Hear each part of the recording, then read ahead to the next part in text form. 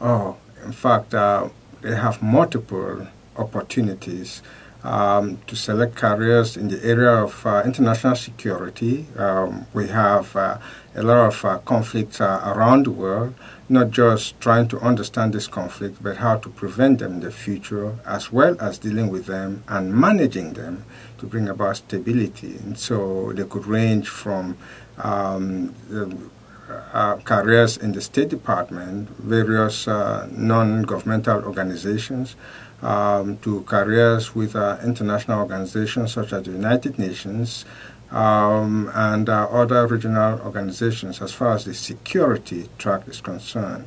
For the development track, uh, we also have um, career opportunities with the United Nations uh, Development Program, other United Nations uh, um, agencies, uh, the U.S.